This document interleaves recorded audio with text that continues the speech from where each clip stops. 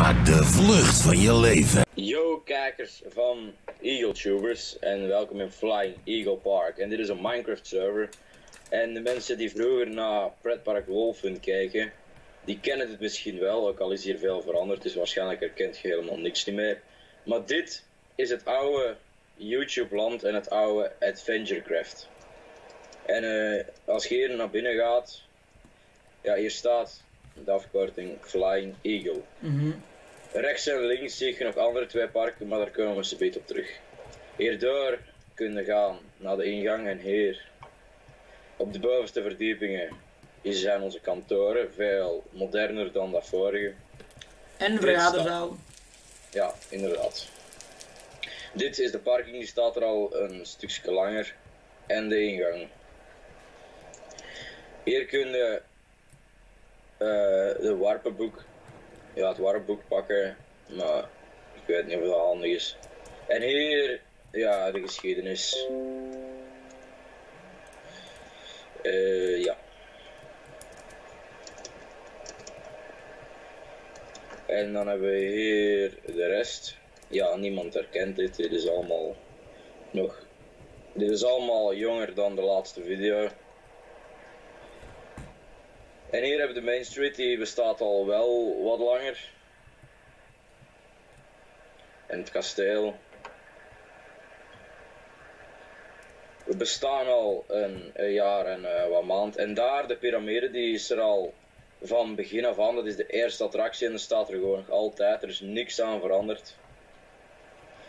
En die staat bij Dodrijk en dat, ja, dat, dat past echt, hè, mummie. En dit standbeeld gaat weggedaan worden. Ja, en daar komt een, eh, een arend in de plek, want je weet wel, Flying Eagle. En om, dat is dan de, de, de, mas- de mascotte van het park. En hij gaat een naam krijgen, Falco. En daar de Parco Junior. Oh. Die ingang die is ook niks veranderd, maar de baan heb ik later een beetje uitgebreid. Daar de Disco Twister. Die is ook wat veranderd, behalve dat eerste stuk. Die staat er al. Ja, de YouTube Express, die nu Flying Eagle Express noemt. En de Evolution, maar al die attracties zijn ooit vernieuwd geweest, behalve de deze. Hoe noemt hem trouwens? De River Wild Slide, de bovenste attractie, die is. Dat is een van de eerste attracties die hier kwam en er is sinds de opening niks meer aan veranderd. En voor de rest is er heel veel nieuw. Maar dit wordt niet zo'n lange video, dit is gewoon een introductievideo. En eh, ik- we kunnen allemaal zeggen, de volgende video dat wordt het, een video met het afscheid van de Pirates of the Caribbean. Een attractie in het piratengebied, waar we daar net passeerden. Die attractie gaat weg, alleen niet weg. Ik ga de attractie kopiëren naar het archief, want we gaan geen attracties niet meer gewoon slopen. We brengen ze naar het archief. En ik bouw er een andere dark ride in de plek. We kunnen al wel zeggen, de audioserver die, ja, die ligt stil. We hebben er geen... Ja, momenteel.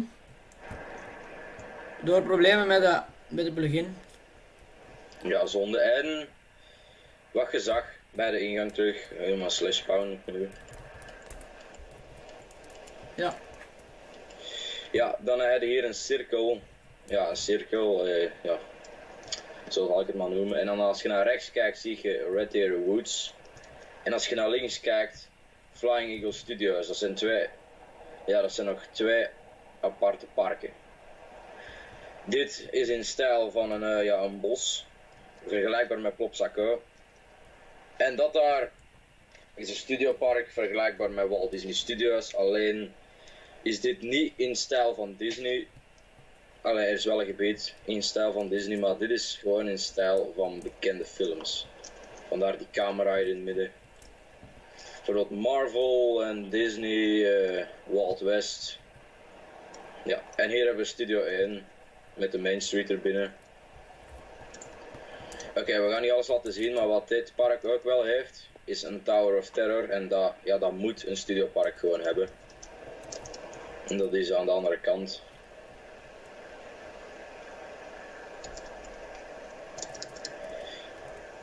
Jonas heeft al een- nog een paar dingen niet gezien hier. Hier de Tower of Terror. Jelle vindt dat zeker ook heel prachtig. hè. Dat gebouw hier. Ik kan al maar zeggen, deze is nagemaakt van een echte Tower of Terror. Die van eh, Tokyo trouwens. Van Disney Tokyo, daar. Dat is dezelfde. Langs buiten tenminste. Langs binnen heb ik het helemaal anders gemaakt. Ah, hier. Batman. Jonas vliegt hier bij Warner Bros. Eh, Pictures Square. Deze attracties zijn trouwens nog niet klaar. Automatiseerd en zo, dat komt later. Eerst Park Flying Eagle zelf. Ja, Dat is, dat is al bijna in orde, hè, Park Flying Eagle. en hier hebben we een attractie die bijvoorbeeld nooit gaat werken, maar ja. Ja, dat moet niet per se. Dit is een, eh, een type. Wacht, wat was het ook alweer? Een, eh, een Enterprise. We kunnen er ook rails onder doen, hè. Ja, dat heb ik toch gedaan. En dan werkt dat toch? Ja, maar nee, maar. Dit, is, dit moet niet ronddraaien. En dan gaan we naar boven zo.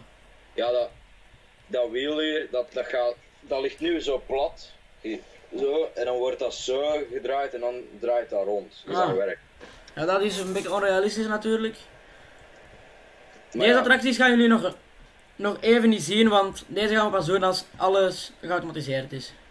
dat is bijvoorbeeld daar, dat is Superman the Ride. En dat is dezelfde achtbaan als Express in Walibi Holland. Ik heb het daarvan nagebouwd. Superman the Ride heeft, heeft die trouwens vroeger ook nog geheten. Express die heeft vroeger ook Superman geheten. En de- hier hebben we een, korte dubbele achtbaan. Ja, een korte maar.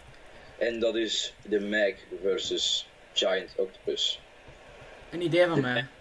De Mag is een gloednieuwe film. Ja, de Mag versus Giant Octopus is geen echte film. We hebben dat gewoon samengebracht. Maar ja, we gaan, we gaan hierbij stoppen. We gaan alles wel vertellen bij de volgende video's. En dan gaan we alles doen wat we nog niet hebben laten zien. Ja, we gaan nog wel geen video's maken van twee uur. Want ik, weet, ik weet niet hoe lang we, we nu bezig zijn, maar in ieder geval tot de volgende video. En we zeggen we nog één ding, dat is Later.